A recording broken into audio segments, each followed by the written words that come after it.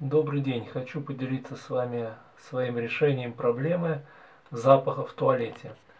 Оказалось, что здесь вот проходит канализационная труба и есть отверстие для ее прочистки, которым я никогда, естественно, не пользовался. Но лет за 10-15 вот эта вот э, крышечка, точнее под ней прокладка, немножко усохлась. И э, запах отсюда проходил. Поэтому я ее просто по часовой а, стрелке завернул немножко потуже. И запах практически исчез. Дополнительно я здесь еще ультрафиолетовой лампой продезинфицировал и все протер. Вот таким образом рекомендую вам этот способ. Но, возможно, и есть и другие причины. Например, гермозатвор ваших сантехнических приборах неправильно работает и так далее.